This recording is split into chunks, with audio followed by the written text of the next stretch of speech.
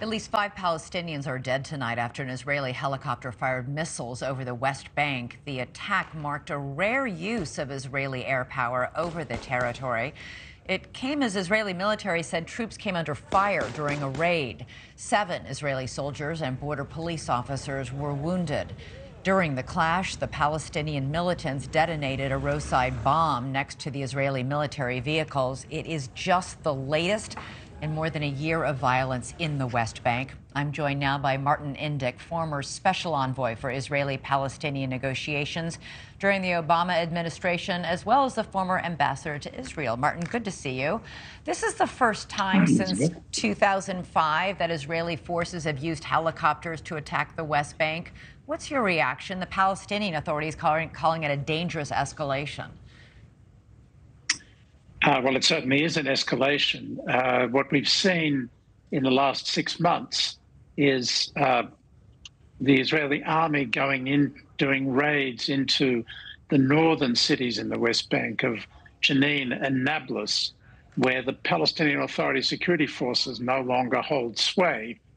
And so the Israeli uh, army is moving in to arrest people who've been involved or they suspect are planning uh, terrorist activities.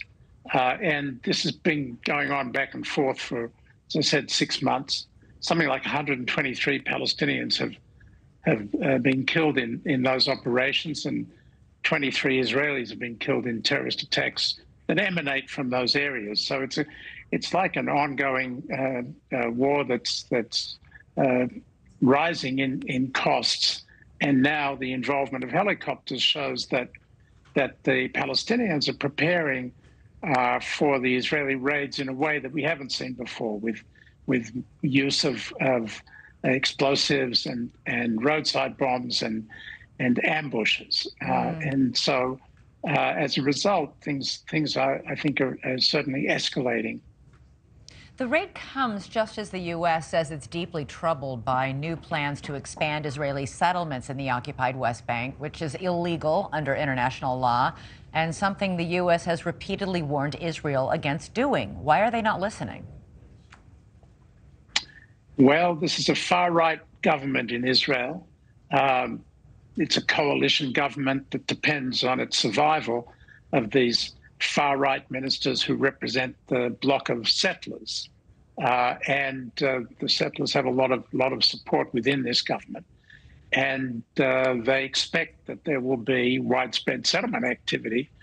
Uh, the minister of one of these ministers, Bezalel Smotrich, who's a member of the far right, uh, has uh, now taken control of these decisions as a deputy minister in the in the defense ministry, something that's never happened before. Mm. And so we've got a situation where it's kind of settlements gone wild. And you're absolutely right, Elizabeth. They're not listening to the opposition that is constantly expressed by the United States uh, in a situation where uh, their domestic politics is overriding any concern about their relationship with the United States. All this comes, of course, as there's news on the front page of the New York Times today of efforts underway to broker a deal to normalize relations between Israel and Saudi Arabia. If I mean, if this happens, this would be massive and historic. Is there any chance this may happen? Well, as that New York Times story put it, it's a long shot. It's a long shot, not because Saudi Arabia has any problem at this stage in normalizing relations with Israel. It's already taken steps towards that. For instance, Israeli civilian aircraft are flying over uh, Saudi Arabian airspace every day. But, but uh, to have a full fledged normalization, in effect, peace between Israel and Saudi Arabia would be a big deal. So, what's uh, changed? what's and, driving this?